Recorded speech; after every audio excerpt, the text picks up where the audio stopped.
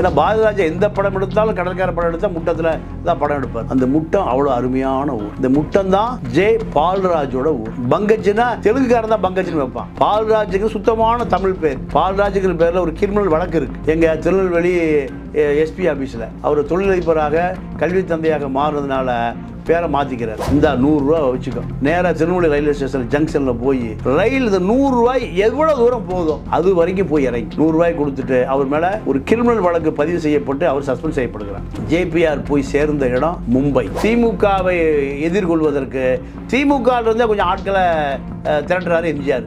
அப்படி வந்து சேர்ந்தவர் தான் Jai Palraj Jai Palraj J P R ஆயிரம் ஜேபிஆருக்கு இருப்பதை போல எல்லா கல்வி தந்தைகளுக்கும் ஒரு பெரிய குற்ற பின்னணி இருக்கு. கல்லூரியில் அவர் தங்க தங்கியிருந்த போது வட இந்திய மாணவர்களுக்கு ஒரு அ- அபராதம் விதிக்கக்கூடிய ஒரு நிகழ்ச்சி நடந்தது. அதை எல்லா மாணவர்களுக்கும் போட்டு கே- போய் நியாயம் கேட்குறான் இவர் அந்த பழைய போலீஸ் அரசியல்வாதி தாதால பதில் சொல்றாரு. பதில் சொன்ன பிறகு அவருடைய வீடு உடைக்கப்படுகிறது வட இந்திய மாணவர்களால் உடைக்கப்பட்டு கண்ணாடியெல்லாம் உடைச்சு உள்ளே பூந்து அப்போ அவர் தப்பி ஓட வேண்டிய சூழ்நிலை வந்தது. எம்ஜிஆருடைய தொண்டனாக வளர்ந்த ஜேபிஆர் மரணமடைகிற போது எம்ஜிஆர் தொண்டனா இல்லை அவர். யாருடைய தொண்டனா மாறி போயிட்டாருன்னா பணத்தாசையின் தொண்டனா மாறி போயிட்டார். அறம் நாடு நேயர்களுக்கு வணக்கம். இன்று நம்மோடு இணைந்திருப்பவர் மூத்த பத்திரிகையாளர் தமிழா தமிழா பாண்டியன் அவர்கள். ஐயா வணக்கம். வணக்கம். சென்ற காணொளியில் சிவநாடார் குறித்து பேசியிருந்தோம். பார்வையாளர்கள் நிறைய வரவேற்பு கொடுத்தாங்க. ஜேபிஆர் நிறுவனத்துடைய தலைவர் ஜேபிஆர் அவருடைய வரலாறு எங்கேருந்து ஆரம்பித்தது? நாங்கள் படித்தவரை ஒன்று தெரிந்துள்ளோம். நீங்கள் அனுபவத்தில் நிறைய பகிர்ந்திருப்பீங்க. பல கல்லூரிகளுக்கு அரசியல் நிலை ஆளுமை மிக்கவராக பல இடத்துல தொடர்பு உள்ளவராக தொழிலதிபராக வாழ்ந்தார். கிட்டத்தட்ட ஒரு மூவாயிரம் கோடிகளுக்கு அதிபதி அப்பொழுது நாங்கள் கேள்விப்பட்டோம். எவ்வாறு இவ்வாறு உருவானார்? தொழில் ரகசியம் என்ன? சக்ஸஸ் ஃபார்முலா என்னங்க ஐயா? கன்னியாகுமரி மாவட்டம் முட்டம் கிராமம் அவருடைய சொந்த ஊர். முட்டம். நீங்கள் அலைகள் ஓய்வதில் நீங்கள் கார்த்திகை ராதா தியாகராஜன் படம். அதுதான் ரொம்ப ஃபேமஸ் நீங்கள் பாரதிராஜா எந்த படம் எடுத்தாலும் முட்டத்தில் போய் படம் எடுப்பார். கடல் அலைகள் நீங்கள் அப்படியே ஊருக்குள்ளே வந்து அடித்து திரும்பி போகும். தேன் நாடாம் முட்டம். அது இது மட்டக்களப்பு தான் சொல்லுவான் இலங்கை தமிழில் மீன்பாடும் தேன் நாடாம். ம மட்டக்களப்பு சொல்லுவோம். அதே போல் முட்டத்துக்கும் அதே பேர் இருக்குது ஏன்னா பாரதிராஜா எந்த படம் எடுத்தாலும் கடற்கரை படம் எடுத்தால் முட்டத்தில் தான் படம் எடுப்பார். அந்த முட்டம் அவ்வளோ அருமையான ஊர். இந்த முட்டம்தான் ஜே பால்ராஜோட ஊர். பங்கஜ்னா தெலுங்குக்காரன் தான் பங்கஜ்னு வைப்பான். பால்ராஜுக்கு சுத்தமான தமிழ் பேர். நீங்கள் கன்னியாகுமரி திருநெல்வேலி இருக்கக்கூடிய ஃபிஷர்மேன்கள் சுத்தமான தமிழர்கள். அவங்க பால்ராஜ் தான் வைப்பாங்க. பங்கஜ்னு இப்போ அந்த அவர் அவருடைய பேர் இருக்குதுன்னு சொல்லி எல்லாம் சொல்கிறாங்க பங்கஜ் என்பது தெலுங்கு பேர். ஒரு கன்னியாகுமரி இருக்கிற மீனவர் சமூகம் தெலுங்கு பேரை வைக்கவே மாட்டாங்க. வாய்ப்பே இல்லை. அதனால் இது வந்து பால்ராஜுங்கிற பேரில் ஒரு கிரிமினல் வழக்கு இருக்குது எங்கள் திருநெல்வேலி எஸ்பி ஆஃபீஸில் அதனால் இதை அவர் தொழிலதிபராக கல்வி தந்தையாக மாறுனதுனால பேரை மாற்றிக்கிறார் பேரை மா பல பேர் அப்படி பேரை மாற்றிருக்காங்க பல பேர் பேரை அடையாளத்தை மாற்றிக்குவாங்க அதில் தான் பால்ராஜுடைய பேரும் மா மாற்றப்பட்டிருக்கு. இவர் சாதாரண கான்ஸ்டபிள் நல்ல ஏழு அடி இருப்பார். அவர் பார்த்தவங்க தெரியும். நானெல்லாம் அருகிலே நின்று பார்த்துருக்கேன். பால்ராஜ். அப்போது இந்த பால்ராஜ் கான்ஸ்டபிளாக நீங்கள் எங்கே இருக்காருன்னு கேட்டிங்கன்னா சவுந்தரபாண்டியன். இவர் யாருன்னு கேட்டிங்க? சாரி செல்லப்பாண்டியன் மன்னிக்கும் செல்லப்பாண்டியன். செல்லப்பாண்டியன் வந்து காங்கிரஸ் கட்சியினுடைய சபாநாயகர்.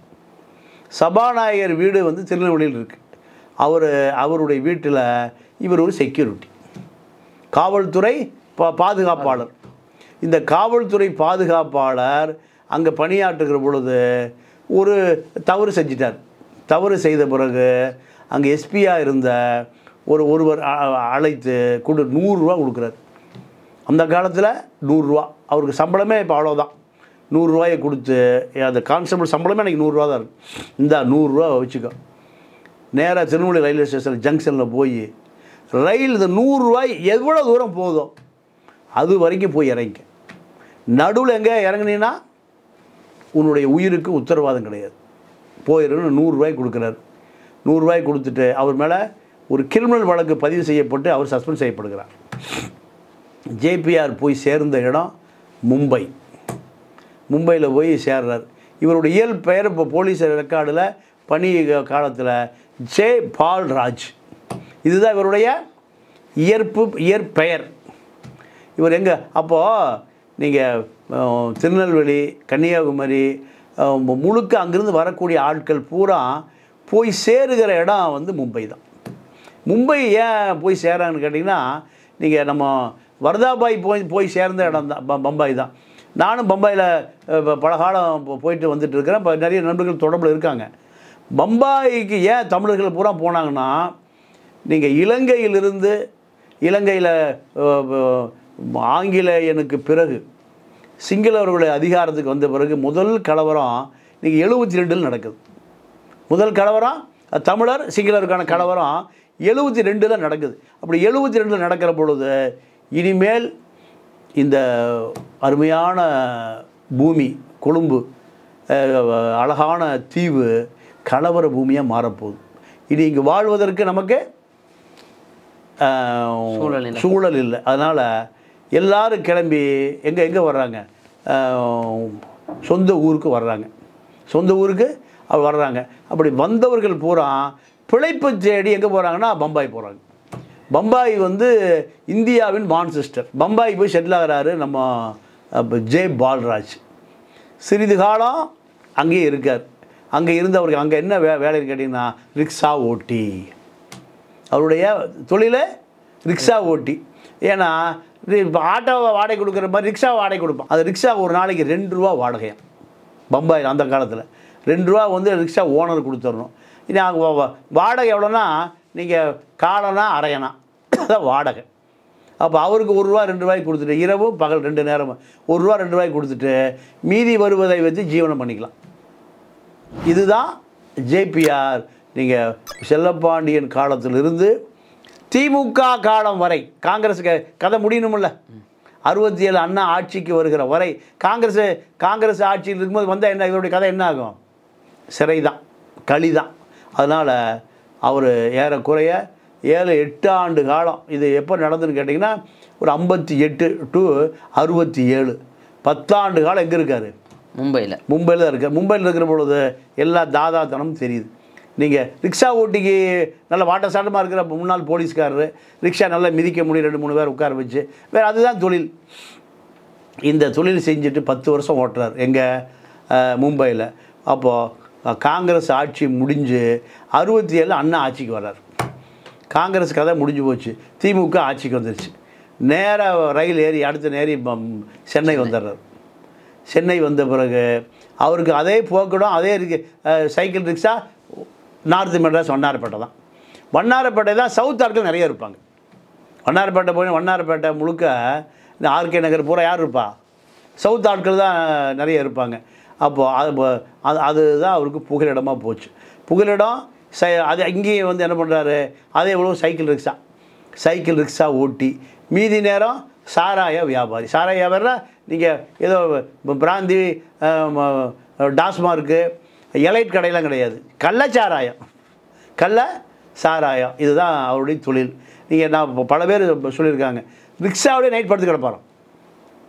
ரிக்ஷா ஓட்டுறது. மீதி நேரம் ரிக்ஷாவிலேயே படுத்து கிடப்பார் அப்போ தங்கறதுக்கு இடம் இல்லை. இடம் இல்லை. இதுதான். ரிக்ஷா ஓட்டி வந்து ரிக்ஷா ஸ்டாண்ட் இப்போ ஆட்டோ ஸ்டாண்ட் இருக்கிற மாதிரி ரிக்ஷா ஸ்டாண்ட் இருக்கும். அந்த ரிக்ஷாக்கார படம் பார்த்தீங்கன்னா கதை தெரியும். இதுதான் அவருடைய வாழ்க்கை. அப்படியே அப்படி ஓ- ஓட்டிட்டு இருக்காரு. இந்த காலகட்டத்தில் அதிமுகவில் ஒரு நாடார் வண்ணை பாண்டியன்னு பேர். வண்ணாரப்பேட்டை பாண்டிய. அவர் தான் திமுகவுக்கு எதிராக மிகப்பெரிய ஒரு திமுக பெரிய லீடரு. எம்ஜிஆர் கட்சி ஆரம்பிச்ச உடனேயும் எழுபத்தி ரெண்டில் எம்ஜிஆர் கட்சி ஆரம்பிக்கிறார். அறுபத்தி ஏழில் திமுக ஆட்சிக்கு வருது. அறுபத்தி ஏழில் வந்து அண்ணா அறுபத்தொம்போதில் இறந்து போயிடுறாரு.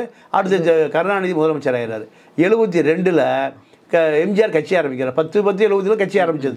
அவன் கட்சி ஆரம்பித்த பிறகு திமுகவை எதிர்கொள்வதற்கு திமுகவிலிருந்தே கொஞ்சம் ஆட்களை திரட்டுறாரு எம்ஜிஆர். அப்படி வந்து சேர்ந்தவர் தான் Jai Palraj.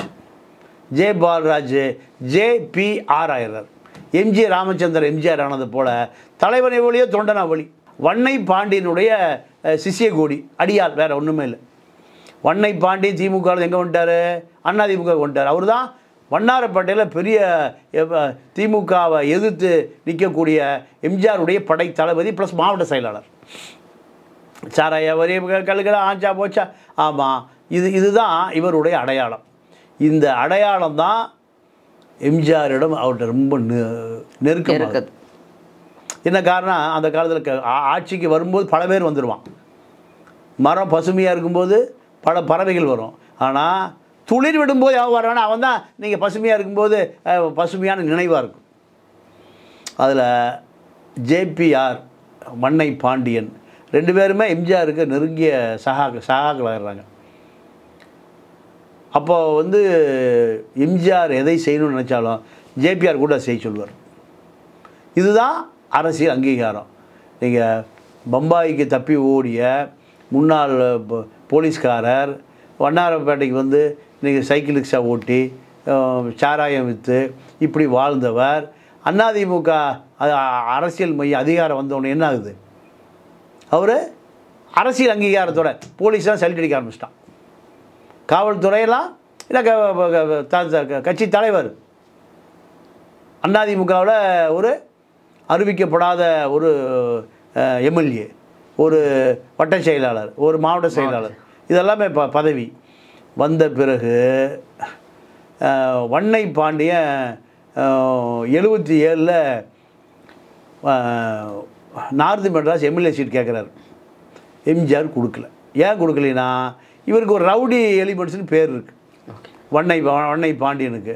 அப்போ கொடுக்க முடியாதுன்னு எம்ஜிஆர் என்ன பண்ணுறாரு வேறு யாருக்கோ கொடுத்துட்றாரு வேறு யாருக்கோ கொடுத்துட்றாரு கொடுத்த உடனே ம- ஒரு பெரிய படையை கூட்டி அந்த வண்ண வண்ணை பாண்டியன் எம்ஜி ஏடிஎம்கே ஆஃபீஸை பூரா உடைக்கிறார். ஏடிஎம்கே ஆஃபீஸை பூரா உடைக்கிறாரு. உடைச்சி அது பெரிய கலவரம் ஆகுது. கலவரம். சொந்த கட்சி அலுவலகத்தையும் சீட் கிடைக்கல உடைக்கிறார். வண்ணை பாண்டியன் அப்போ கலவரம் ஆன பிறகு கட்சியில் நீக்கப்படுகிறார். யார்? ஆமாம் நீக்கி நீக்கப்பட்ட பிறகு அந்த இடத்துக்கு யார் வர்றா? ஜேபிஆர் நம்ம கதாநாயகன் வந்தார். நார்த் மெட்ராஸில் அறிவிக்கப்படாத மாவட்ட செயலாளர். ஜேபிஆர் இந்த காலகட்டத்தில் ஆட்சிக்கு வந்துடுது எழுபத்தி ஏழில் கட்சி ஆரம்பித்த எம்ஜிஆர் எழுபத்தி ஏழில் முதலமைச்சர். முதலமைச்சர் ஆன பிறகு நீங்கள் மெட்ரோ வாட்டர் மெட்ரோ வாட்டர் வாரியத்தினுடைய தலைவர். இப்போ இதில் மட்டும் ஒரு சின்ன கேள்வி ஐயா. அப்போ அந்த மெட்ரோவோட தலைவராக இருக்கும்போது சென்னையில் ஒரு தண்ணீர் பஞ்சம் வந்து மிகப்பெரிய அளவில் வந்த பொழுது அதை தீர்த்ததில் ஜேபிஆருடைய பங்கு இருக்கு அப்படின்னு சொல்கிறாங்களே உண்மை. ஆமாம் ஆமாம் என்ன என்ன நடந்ததுன்னா நீங்கள் லாரி தனியாக எல்லா ஏரியாவுக்கும் அங்கங்கே அஹ், கிளை செயலாளரை க கண்டூலுக்கு இந்த தண்ணி லாரியை கொண்டு விடுறாரு. ஒரு அப்போவே ஒரு ஐநூறு லாரி இருந்தது எனக்கு தெரியும். நீங்கள் அந்த பழைய லாரி நீங்கள் அப்படியே நெளிஞ்சு நெளிஞ்சு தான் போகும். பழைய லாரியாக இருக்கும். அதில் தான் நீங்கள் த தண்ணி பஞ்சம் எம்ஜிஆர் ஆட்சி காலத்தில் வந்த பிறகு அதை வந்து தீர்த்ததில் ஜ- என்ன ஒன்றும் இல்லை. தண்ணி வந்தால் திமுககாரன் அண்ணா அஹ், அவனுக்கு வீட்டுக்கு தேவையான தண்ணி முதல்ல எடுத்துகிட்டு போயிடுவான். பத்து கூட இருபது கூடன்னு ஏழை சனங்களுக்கு ஒரு கூட கூட கிடைக்காது. இதை கரெக்ட் பண்ணார். வேஸ்ட் யாராக இருந்தால் லைனில் வா. அந்த வந்த உடனே இப்போ அந்த வடிவேல் காமெடியில் அதுலேருந்து எடுத்தது தான். அந்த டிரைவர் என்ன பண்ணுவான்? டிரைவர் அப்படியே வந்து அந்த ஏரியா அண்ணாதிமுக கிளை செயலாளர் அவன் கண்டுள்ள லாரியை கொடுத்துட்டு தள்ளி தள்ளி நின்றுவான் இதை குடம் வரிசையாக இருக்கும் வரிசையாக வச்சு. எல்லாருக்கும் ரெண்டு குடம் தான். அதிமுக த- தலைவனாக இருந்தாலும் சரி திமுக தலைவனாக இருந்தாலும் சரி வட்ட செயலாளராக இருந்தாலும் சரி இப்போ உள்ளூர் செய- செயலாளர் யாராக இருந்தாலும் எல்லாத்துக்குமே கடைசி ரெண்டு குடம் வச்சு நிற்கிற ஏழை பால குடிசை வாசிகளுக்கு கூட ரெண்டு குடம் தான். இது தான் எம்ஜிஆர்ட்ட நல்ல பேர் வாங்கினார். இல்லைன்னா பெரிய கலவரம். அப்போ லாரியை மறிக்கிறான் உடைக்கிறான் குடத்தை உடைக்கிறான். டெய்லி பேப்பர் அதான் செய்தி. லாரியை கைப்பற்றிட்டு போயிடுறான். லாரியை வழியே மடக்கி ஏன் ஏரியாவுக்கு முதல்ல விடுங்கிறான் ஏரியாவுக்கு ஒரு லாரி ஒரு ரெ- ரெண்டு நாளைக்கு ஒரு லாரி வரணும்னா பாதி வழியிலே மடக்கி எடுத்துகிட்டு போயிடுவான். ஏன் இறங்கடா கீழே. அப்படி அவன் ஏ- அவன் ஏரியாவுக்கு ஓட்டிகிட்டு போயிடுவான். இது பெரிய செய்தி பத்திரிகை செய்தி. இதை தடுத்து சரி செய்தவர் ஜேபிஆர் அதனால தான் இப்போ இவரை நான் அவர் சிறுமைப்படுத்தி சொல்ல இந்த தாதா வேலை. தாதா அவர் பேர் கல்வி தந்த அவர் அது வேறு விஷயம் வச்சுங்க இங்கே மார்வாடி பசங்களாம் அடித்து பின்னாடி ஓட விட்டானுங்க அவரை தப்பிச்சு ஓடுறாரு. அதே கேம்பஸ்க்கு நடந்தது. அது அப்புறம் சொல்லுவோம். அப்போ எம்ஜிஆர்கிட்ட நல்ல பிள்ளையாக ஆயிடுறாரு. ஆன பிறகு அதாவது அவருக்கு செல்வாக்கு மேலும் மேலும் உயருது. மேலும் மேலும் உயருது. எம்ஜிஆருடைய வீட்டு வீட்டு பகுதி அவங்க என்ன சக்கரபாணி எம்ஜிஆர் பெரியவர் சின்னவர் இரண்டு பேருமே சென்னையில் இருக்கக்கூடிய எல்லா வேலைகளும் என்ன வேலைகள் கேட்டிங்கன்னா அரசியல் பஞ்சாயத்து அரசியல் அத்துமீறல் அரசியல் பாதிப்பு எல்லா வேலைகளுமே ஜேபிஆரை கூட கொடுத்துரு. இதுதான். அப்போது சென்னையில் அறிவிக்கப்பட முடியாத அதிமுகவில் ஒரு பெரிய தலைவராக ஜேபிஆர் ஜேபிஆர் வந்துட்டார். ஜேபிஆர் வந்த பிறகு நீங்கள் அவருக்கு வந்து எம்எல்ஏ சீட்டோ எதுவுமே கொடுக்கல. ஏன்னா அவருக்கு வந்து என்ன என்ன பேர் இருக்குது தாதா. தாதா இமேஜ் தான். அப்போ எம்ஜிஆர் பொது எம்ஜிஆரை பொறுத்த வரைக்கும் அது சரியாக இருந்தார். இந்த தாதா இமேஜ் இருப்பவரை மக்கள் பிரதிநிதியாகக்கூடாது எம்பியோ எம்எல்ஏ அவர் ரொம்ப விரும்பினார். எம்பி ஆகணும் எம்எல்ஏ ஆகணும் மந்திரி ஆகணும்ல யார்? ஜேபிஆர் எம்ஜிஆர் உன்னுடைய உயரம் எனக்கு தெரியும். உன்னுடைய தேவை எனக்கு தெரியும். அதனால் நீங்கள் பொதுமக்கள் பிரதிநிதியாக வர வேண்டாம். உனக்கு வாரிய நான் வாரிய தலைவராக வச்சுருக்கேன். நீ எப்போ வேணாலும் என்னை என்னை வந்து பார்க்கலாம். எப்போ வேணாலும் என்னை வந்து பார்க்கலாம். எப்போ வேணுமாலும் என்கிட்ட உரிமையோடு கேட்கலாம். உனக்கு தேவையான அத்தனை வசதி வாய்ப்புகளும் செஞ்சு தர்றேன். அப்படின்னு சொன்ன பிறகு அவர் ஜேபிஆர் எம்ஜிஆருக்குமான உறவு நீங்கள் அமைச்சர்களை விட அதிகாரிகளை விட நாடாளுமன்ற உறுப்பினர்களை விட ஜேபிஆருக்கு எம்ஜிஆர்கிட்ட தனிப்பட்ட செல்வாக்கு இருந்தது நீங்கள் எம்ஜிஆரை எம்ஜிஆர் எப்போ புறப்படுறாரோ ராமாவரம் தோட்டத்தில் நீங்கள் அங்கே ஜேபிஆரை பார்க்கலாம் காலையில். அது பின்னாடியே காரில் கோட்டைக்கு வருவார். இதெல்லாம் நேர்லயே நான் பார்த்துருக்கேன். திருப்பூர் மணிமாறன் அப்போ ச- சட்டசபை கொரோனாவாக இருந்தார். அப்போ நான் இங்கே சென்னையில் சிறிது காலம் இருந்தேன். இருக்கும்போது இந்த காட்சியை நான் பார்க்கக்கூடியதாக இருந்தது. ஒரு ஒரு முறை சீனா போனார் திருப்பூர் மணிமாறன் ஒரு சுற்றுப்பயணத்துக்கு. ஏர்போர்ட்டுக்கு எம்ஜிஆர் வந்தார். அப்போது கூட்டத்தை ஒழுங்குபடுத்துவதிலிருந்து ஏர்போர்ட்டில் சரியான கூட்டம். அத்துணை வண்டி வாகனம் ஏற்பாடு நாங்களாம் திருப்பூர்லேருந்து அப்போ பஸ்ஸில் வந்திருந்தோம். கேஆர்என்டின்னு ஒரு பஸ்ஸில் வந்திருந்தோம். அப்போ ஜேபிஆருடைய சுறுசுறுப்பான பணிகளை நீங்கள் நேரடியாக பார்க்கக்கூடியது எம்ஜிஆர் வரவொடனே சட்டை கட்ட பட்டன்லாம் போட்டு அப்படியே ஸ்லிமாக சீவி கீவி சரியான கண்ணை கண்ணுக்கு முன்னாடி பார்த்தேன். அவர் பயப்படுற ஒரே ஆள் யார்? எம்ஜிஆர். எம்ஜிஆர் தான். அப்போ இதே போன்று நீங்கள் தமிழ்நாடு முழுக்க எம்ஜிஆருக்கு நிறைய ஆட்கள் இருந்தாலுமே அவரவர்களுக்கு என்னென்ன பதவி கொடுக்கணும் அவர்களை எப்படி உயரமான ஒரு ம- வைத்திருக்க வேண்டும் என்பதை சரியாக கணித்து வச்சவர் எம்ஜிஆர். எம்ஜிஆருடைய மரணத்திற்கு பிறகு என்ன எப்படி மாறுதுன்னு கேட்டிங்கன்னா எம்ஜிஆருடைய விசுவாசிகள் அத்தனை பேருமே கல்வி தந்தையாக மாறிடுறாங்க. இது மாறுனது ஜானகி முதலமைச்சராக இருந்த அந்த இருபத்தி மூன்று நாட்கள் தான். இருபத்தி மூணு ராத்திரி பகலாக பல engineering college arts science college. எனக்கு எனக்கு என்ன கேட்டால் ஒரு இரநூறு கல்லூரிகள் விஏடி உட்பட ஜேபிஆர் உட்பட ஜெகத்ரட்சன் உட்பட முனிரத்னம் உட்பட அத்துணை கல்லூரிகளுமே ஜானகி முதலமைச்சராக இருந்தபொழுது ஆரம் வீரப்பனால் இரவு இரவாக கொடுக்கப்பட்ட அங்கீகாரம் தான் இவர்கள் பூரா என்னவா மாறி போயிடறாங்க கல்வி தந்தைகளாக மாறி போகிறாங்க அப்போ சென்னையை சுற்றி சுற்றி இடம் வாங்குறதுக்கு ஆள் இல்லை. ஏக்கரா கணக்க இடம் சில லட்சங்களில் கிடச்சிது. அப்போ தான் ஈசிஆர் ஓஎம்ஆர் பூந்தமல்லி ரோடு எல்லாமே நீங்கள் பல்கலைக்கழகங்களாக மாறுச்சு. பல்கலைக்கழக கழகங்களுடைய வேந்தர்களாக ஜேபிஆர்களும் ஜெகத்தரச்சங்களும் எல்லாம் எம்ஜிஆருடைய ஃபாலோவர்ஸ் தான். கருணாநிதியுடைய ஃபாலோவர்ஸ் யாருமே இப்போ பல்கலைக்கழகங்கள் கட்டலை கல்லூரிகளும் கட்டலை பாலிட்டிக்கலும் கட்டலை. வேலூரில் விஏடி எம்ஜிஆருடைய ஃபாலோவர் தான். இருபத்தஞ்சி வயசில் அவர் எம்பி எஸ்டிஎஸ்னுடைய நினைவு நாளில் ஒரு கூட்டம் நடந்து நான் சமீபத்தில் போயிருந்தேன். அப்போ தான் வேலூர் விஸ்வநாத் சொன்னார். டெல்லி பாராளுமன்ற லாபி ஹாலில் எழுபத்தஞ்சி வயது நிரம்பிய ஒரு ஐந்து எம்பிகள் உட்காந்து பேசிகிட்டு இருந்தாங்களாம். பீகார் எம்பி யூபி எம்பி காங்கிரஸ்காரன் எல்லாம் பல ஏக்கரா நிலம் பண்ணையார்கள் பெரிய பெரிய ஜவான் எல்லாம் மிகப்பெரிய அரசியல் ஜவான்கள்லாம்.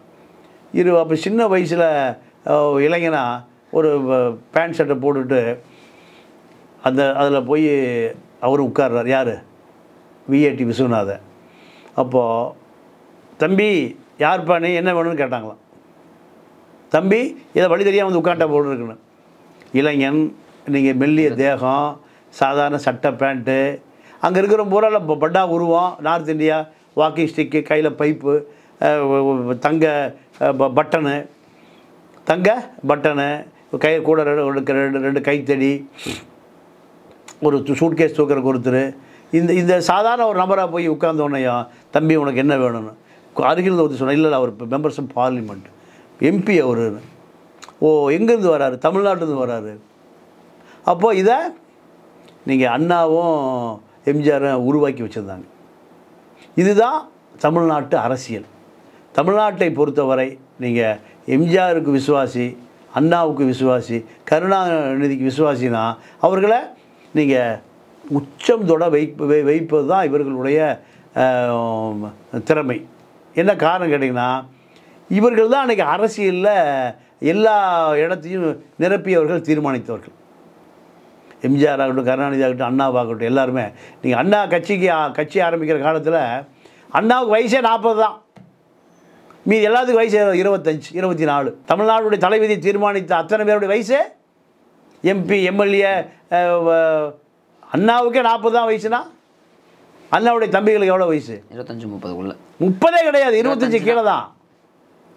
அப்போ ஜேபிஆருக்கு நீங்கள் ஒரு முப்பது வயசு இருக்கும் தமிழ்நாட்டினுடைய அரசியல் என்பது அண்ணா அதாவது பெரியார் அண்ணா கருணாநிதி எம்ஜிஆர். இந்த நாலு பேருமே பெரிய சகாப்தங்கள் தான்.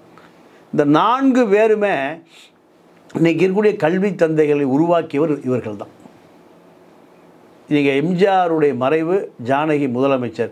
அதற்கு இது எப்போ எந்த காலத்தில் நடந்ததுன்னா நீங்கள் எண்பத்தி ஏழு வாக்கில். எண்பத்தி ஏழுலே இவர்கள் பூராமல் கல்வி தந்தைகளாக உ- உருவாயிட்டாங்க. எல்லாருமே இன்ஜினியரிங் காலேஜ் இன்றைக்கி Ramachandra medical college MGR MGR பல்கலைக்கழகம். புற அன்னை சத்யபாமா யார்? எம்ஜிஆருடைய அம்மா.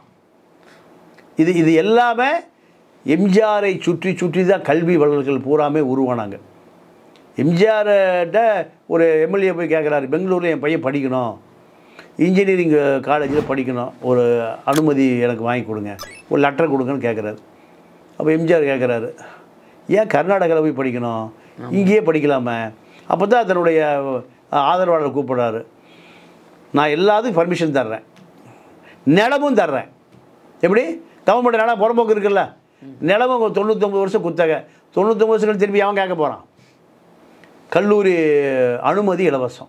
இப்போ எல்லாம் ஆரம்பிக்க போ. முதல் மகளுக்கு அவர் என்ன நினைக்கிறாருன்னா நாடார் சமூகத்திலிருந்து திருமணம் பண்ணி வைக்கணும்னு நினைக்கிறார். அதனால் கிறித்துவ நாடார் மருமகனை அவர் தேர்ந்தெடுக்கிறார். இது அவருக்கு ஒரு பெரிய அதிர்ச்சியாக மாறிடுது. இவர் மீனவ சமூகத்தை சேர்ந்தவர். மீனவர் சமூகம் என்ன நினைக்கிது? இவ்வளோ பெரிய சாம்ராஜ்யம் சொத்து க- கல்வி தந்தை அரசியல் இதை பூராமல் நம்ம சமூகத்தை சேர்ந்த மீனவ மீனவர் சமூகத்தை சேர்ந்த ஒருவனுக்கு அந்த பொண்ணை கொடுக்கலையே. இது அந்த சமூகம் அவருக்கு பெரிய எதிர்ப்பு தெரிவிக்குது.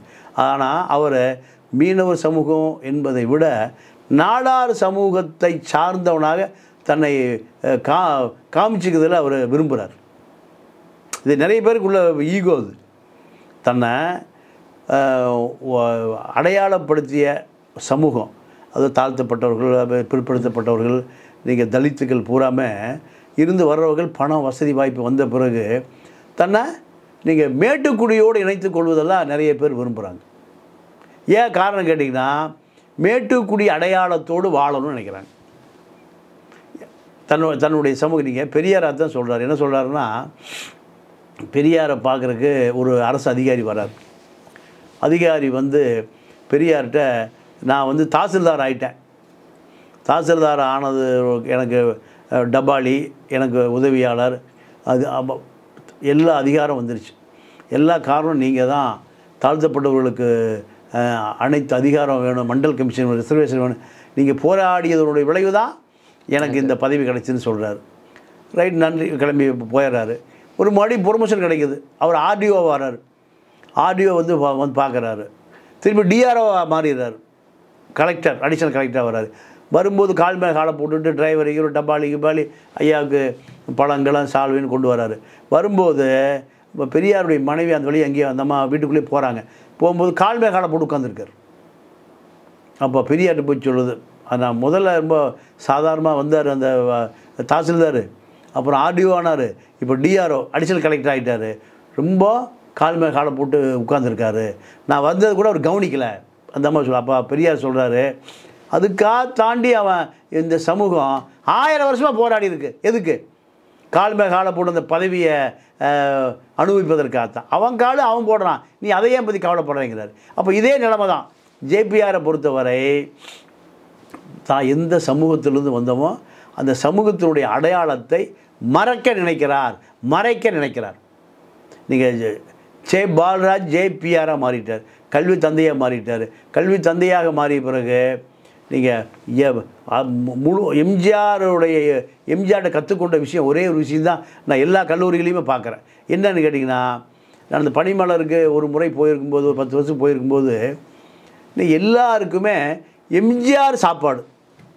சாப்பாட்டில் எந்த குறையும் இல்லை. சைவமாக அசைவமாக பெற்றோர்கள் போனாலும் கூட போதும்.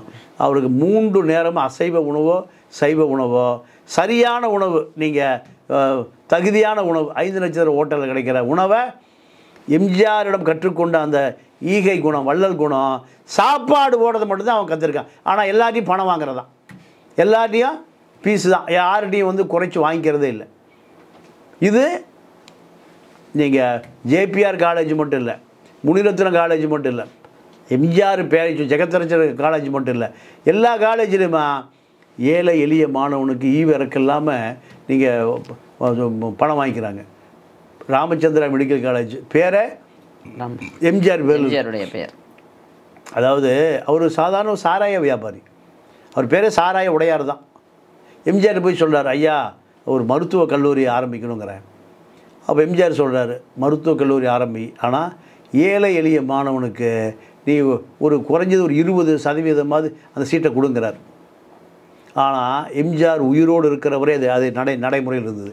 எம்ஜிஆர் மறைந்த பிறகு அந்த நடைமுறை நீங்கள் காணாமல் போச்சு. அதே போல் நீங்கள் லட்சுமில் குரூப்ஸ் எங்கள் கோயம்புத்தூர். மிகப்பெரிய குரூப்ஸ். அவங்க மெடிக்கல் காலேஜ் கட்டுறாங்க. மெடிக்கல் காலேஜ் கட்டி அனுமதிக்காக எம்ஜிஆர் வராங்க.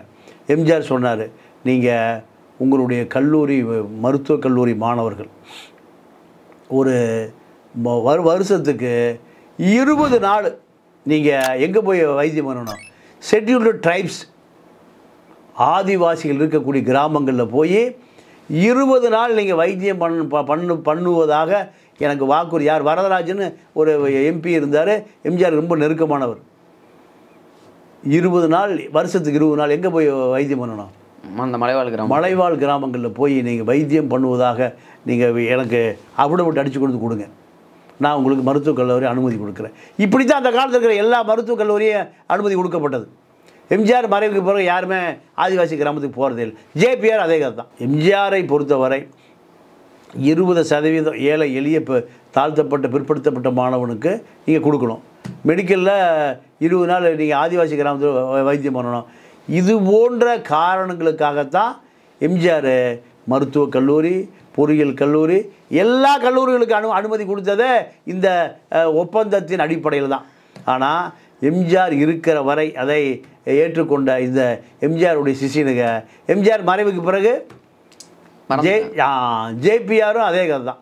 ஜேபிஆர் வந்து மிக சாதாரணமாக இருந்த ஒரு போலீஸ்காரரை பெரிய கல்வி தந்தையாக மாற்றி கல்வி தந்தையை நீங்கள் அண்ணாதிமுகவுடைய அடையாளமாக மாற்றியவர் எம்ஜிஆர். எம்ஜிஆர் மறைவுக்கு பிறகு ஜெயலலிதா வந்த பிறகு நீங்கள் அண்ணாதிமுகவில் கல்வி தந்தைகளாக மாறிய யாருமே ஜெயலலிதாவோடு ஒட்டும் இல்லை உறவும் இல்லை ஜெயலலிதா அவர்களோடு ஒட்டும் இல்லை உறவும் இல்லை நீங்கள் ஜெயலலிதா காலத்தில் சசிகலா காலத்தில் ஒரே வசூல் வசூல் தான். அப்போது நீங்கள் ஒரு இரநூறு கோடி ரூபா டொனேஷன் கேட்குறாங்க தேர்தல் நிதி யார்கிட்ட? ஜேபிஆர்கிட்ட. ஜேபிஆர் கொடுக்க மறுக்கிறார். கைது செய்யப்பட்டு சிறையில் அடைக்கப்படுகிறார். யார் காலத்தில்? ஜெயலலிதா காலத்தில். அப்போ இப்போ எல்லாம் போய் சொல்கிறாங்க எம்ஜிஆருடைய சிசியன் எம்ஜிஆரால் வளர்க்கப்பட்டவர். எம்ஜிஆரால் அடையாளம் காட்டப்பட்டவர். தயவுசெய்து நீங்கள் ஜெயிலில் பிடிச்சி போட்டிருக்கீங்களேன்னு. அந்த அம்மா அதெல்லாம் பார்க்கவே இல்லை. என்ன என்ன வேணும் அந்த அம்மாவுக்கு? தேர்தல் நிதி தான் இதை தெரிந்து கொண்ட எல்லாருமே ஜேபிஆரை போல் நீங்கள் அந்த அம்மாட்ட பணத்தை கொடுத்துட்டு எம்ஜிஆர் எம்ஜிஆரால் இருபது சதவீதம் க- ஆதிவாசி கிராமத்துக்கு போனோம். இப்போ ஐந்து சதவீதம் முதல் பத்து சதவீதம் வரை ஏழை எளிய மாணவனுக்கு கொ- கொடுக்கணும். இந்த சிஸ்டத்தெல்லாம் எல்லாம் மறந்துடலாம். ஆனால் ஒரே ஒரு விஷயம் என்னன்னு கேட்டிங்கன்னா எம்ஜிஆருடைய பெயரை சொல்லித்தான் இந்த கல்லூரிகள் பூராமே இயங்குது இன்றைக்கு வரைக்கும். பிஏடி விஸ்வநாதர் இருக்கட்டும் ஜெகத்ரட்சனா இருக்கட்டும் கல்வி தந்தையாக இருக்க ஜேபிஆராக இருக்கட்டும் தமிழ்நாட்டை சுற்றி சுற்றி இருக்கிற எல்லா கல்வி தந்தைகளுமே எம்ஜிஆர் காலத்தில் கொடுக்கப்பட்ட கல்லூரி அனுமதி தான். இப்போ இருக்கக்கூடிய சட்ட அமைச்சர் ரகுபதி கூட ஜெயலலிதா பேரில் காலேஜ் நடத்துகிறார் அவர் ஏடிஎம்கே இருந்த காலத்தில் புதுக்கோட்டையில் ஜெயலலிதா பொறியியல் கல்லூரின்னு ஜே ஜே பொறியியல் கல்லூரி நடத்துகிறார் இப்போ அவர் இருக்கிறது திமுக சட்ட அமைச்சர். ஆனால் ஜெயலலிதா கால எம்ஜிஆர் காலத்தில் கொடுக்கப்பட்ட அந்த கல்லூரி விரிவாக்கம் செய்து அவர் ஏடிஎம்கள் இருக்கும்போது ஜெயலலிதாவை குளிர்விப்பதற்காக போடப்பட்ட பேர் தான் ஜே ஜே பொறியியல் கல்லூரி. ஆ அந்த ஜே ஜே பொறியியல் கல்லூரிக்கு அடித்தளமிட்டவர் எம்ஜிஆர் தான். தமிழ்நாடு முழுக்க இருக்கக்கூடிய பெரும்பான்மையான கல்வி தந்தைகள் கல்வி அ- அத்தனை பேருமே எம்ஜிஆருடைய காலத்தில் கொடுக்கப்பட்ட அங்கீகாரம் தான். ஜேபிஆருடைய நிறுவனம் இன்னைக்கு வந்து தமிழ்நாட்டில் மிகப்பெரிய நிறு நிறுவனமாக வளர்ந்துருக்கு. சத்யபாமா பனிமலர் ஜேபிஆர்னு பல பல நிறுவனங்கள். இது பூராம எம்ஜிஆர் காலத்தில் போடப்பட்ட விதை தான் நீங்கள் எம்ஜிஆர் காலத்தில் போடப்பட்ட விதை இன்னைக்கு பல பொறியியல் பட்டதாரிகள் பல இடங்களில் உலகம் பூரா போய் வியாபித்திருப்பதற்கு காரணம் எம்ஜிஆர் என்ற கல்வி தந்தை அதை பயன்படுத்தி கொண்ட ஜேபிஆர். ஆக ஜேபிஆர் மிக சாதாரணமாக ஒரு கான்ஸ்டபிளாக இருந்து நீங்கள் வழக்கில் கைது செய்யப்படுவதற்காக தம்பி பம்பாய் போய் பம்பாயிலிருந்து வண்ணாரப்பேட்டை வந்து வண்ணாரப்பேட்டையிலேருந்து மெட்ரோ வாட்டர் சேர்மனாக மாறி இப்போ கல்வி தந்தையாக மாறுவதற்கு எப்படி எம்ஜிஆர் பயன்பட்டாரோ இதே போல தான் எல்லா கல்வி தந்தைகளுக்கும் காரணம் ஒரு பின்னணியில் அரசியல் பின்னணி ஒரு பெரிய குற்ற பின்னணி என்பது ஜேபிஆருக்கு இருப்பதைப் போல எல்லா கல்வி தந்தைகளுக்கும் ஒரு பெரிய குற்ற பின்னணி இருக்குது அந்த வகையில் ஜேபிஆரும் சரி மற்ற பொறியியல் கல்லூரி ஜ சாராய உடையார் அவர் இன்னும் சாராய உடையார் தான் பேசுவாங்க. எம்ஜி ராமச்சந்திரன் மருத்துவக் கல்லூரி உடையாராக இருந்த உடையாருக்கு என்ன பேர்? சாராய உடையார் தான். சாராய உடையார் மாறி இப்போ அவர் எப்படி எப்படி மாறிட்டார். மிகப்பெரிய அவர் மகன் இருக்கார் இப்போ வெங்கட் இருக்கார். வெங்கட் இருக்கார் ஜேபிஆரில் ஜேபிஆர் இரண்டு மகள்கள். ஒரு ஒரு சர்ச்சை வந்து என்ன சர்ச்சைன்னா கி- கிறிஸ்டியன் மிஷினரிக்கு அதாவது நடிகர் விஜயுடைய பணத்தை பூரா அந்த அம்மா வச்சுருக்கு. பிஜேபி அரசாங்கம் பிஜேபி அரசாங்கம் க- கிரி- கிறிஸ்டியானிட்டி பணத்தை பூரா ஒருங்கிணைக்கக்கூடிய வேலையை ஜேபிஆருடைய குடும்பம் செய்துன்னு ஒரு என்ஃபோர்ஸ்மெண்ட்டு ரைடு கூட நடந்தது. அந்த அம்மா பொறுத்தவரைக்கும் கிறிஸ்டியன் கிறிஸ் கிறிஸ்டியன் மிஷன் மிஷினரிகளுக்கு உதவி செய்துன்னு ஒரு பி பிஜேபி ஆட்சிக்கு வந்து ரெண்டாயிரத்தி பதினாலில் அதில் அதிலிருந்து மீண்டு மிகப்பெரிய நிறுவனமாக ஜேபிஆர் நிறுவனம் மாறி இருக்கிறது ஜேபிஆர் அரசியலில் ஜெயலலிதா வந்த பிறகு அவருடைய அரசியல் வாழ்க்கையை குறைத்து சரியா தொடங்கிருச்சு மு- முழுவதுமா முற்றிலும் சுத்தமாக நிறுத்திட்டார். ஏன்னா ஜெயலலிதா சசிகலாட்ட போய் அவரால் அரசியல் பண்ண முடியல. போனப்பெல்லாம் நூறு கோடி ஐம்பது கோடி இது அவரால் தாக்கு பிடிக்க முடியல. ஒரு காலத்தில் பணமே கொடுக்காம நிறுத்திட்டார். நிறுத்திய பிறகு தான் அவரை வழக்கு போட்டு ஜெயிலில் வைக்கிறாங்க. ஜெயிலில் வச்ச பிறகு மொத்தமாக ஒரு தொகையை கொடுத்துட்டு அதிலிருந்து சசிகலா ஜெயலலிதா இந்த தொடர்புகளையே முற்று முழுதாக மரணமடைகிற வரை நீங்கள் நிறுத்திட்டார். நடுவில் அவருக்கு ஒரு பெரிய சோகமான விஷயம் நடந்தது. கல்லூரியில் அவர் அங்கே தங்கியிருந்த போது வட இந்திய மாணவர்களுக்கு ஒரு அ- அபராதம் விதிக்கக்கூடிய ஒரு நிகழ்ச்சி நடந்தது. அதை எல்லா மாணவர்களுக்கும் போட்டு கே- போய் நியாயம் கேட்குறான் இவர் அந்த பழைய போலீஸ் அரசியல்வாதி தாதாவில் பதில் சொல்கிறாரு பதில் சொன்ன பிறகு அவருடைய வீடு உடைக்கப்படுகிறது. வட இந்திய மாணவர்களால். உடைக்கப்பட்டு கண்ணாடியெல்லாம் உடைச்சி உள்ளே பூந்து அப்போ அவர் தப்பி ஓட வேண்டிய சூழ்நிலை வந்தது. எம்ஜிஆருடைய தொண்டனாக வ- வளர்ந்த ஜேபிஆர் மரணமடைகிற போது எம்ஜிஆர் தொண்டனாக இல்லை அவர். யாருடைய தொண்டனாக மாறி போயிட்டாருன்னா பணத்தாசையின் தொண்டனாக மாறி போயிட்டார். எம்ஜிஆர் பொறுத்த வரைக்கும் மரணமடைந்து ஐம்பது ஆண்டு காலம் வாழ்கிறார் ஆனால் எம்ஜிஆரிடம் அவர்கள் கற்றுக்கொண்டது இந்த வ- வள்ளல் குணத்தை கற்றுக்கொள்ளவே இல்லை. அதனால தான் எம்ஜிஆருடைய தொண்டர்கள் எல்லாமே நீங்கள் எம்ஜிஆரை போல இல்லை. கல்வி வளர்களாக மாறிய பிறகு எல்லாமே கருணையே இல்லாமல் போச்சு. ஆக எம்ஜி மிக சாதாரணமாக இருந்து மிகப்பெரிய உயரத்துக்கு வந்த ஜேபிஆருக்கு அவர் தான் உதாரணம். அதே போல் நீங்கள் இவ்வளோ பெரிய நிறுவனத்தை உருவாக்கி வள்ளல் குணமே இல்லாமல் எந்த எம்ஜிஆருடைய ஈகை குணத்தை ஈகை குணத்தினால் இவ்வளோ பெரிய நிறுவனமாக மாறிய ஜேபிஆர் கடைசி காலத்தில் வள்ளல் குணமே இல்லாமல் நீங்கள் அவருடைய அந்த வரட்டு குணம் அதாவது மாணவர்களை கசக்கி பிழிந்து பணம் பண்ணுவதற்கு மட்டுமே இந்த கல்லூரிய கல்வி கல்வி நிறுவனங்கள் ஆரம்பிக்கப்பட்டதாக அவருடைய வரலாறு இறுதியாகிறது. ஜேபிஆர் எங்கேருந்து தொடங்கினார்? எப்படி ஒரு அரசியல் ஆளுமையாக இருந்தார்? அதாவது எந்த ஒரு பதவிகள்லையும் இல்லாமல் அப்படின்னு நிறைய விஷயங்கள் பகிர்ந்துக்கிட்டீங்க இவ்வளோ நேரம் கொடுத்ததற்கு ரொம்ப நன்றிகளை. நன்றி வணக்கம்.